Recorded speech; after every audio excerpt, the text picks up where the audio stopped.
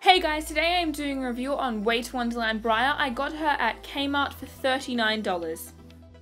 Here is the back of the box, and if you want to read what it says, you can just pause the video. So here is Briar out of the box, and I absolutely love this doll.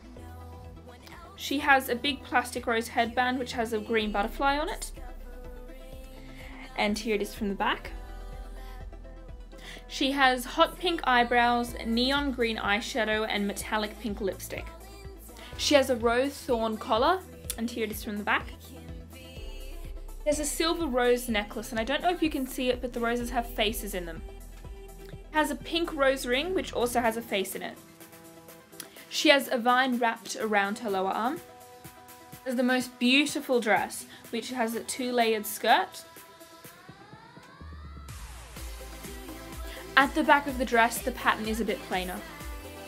She has sky blue shoes which have neon pink roses on the side. She comes with a clock and a card. The clock can be opened and has an Ever After High logo on the back.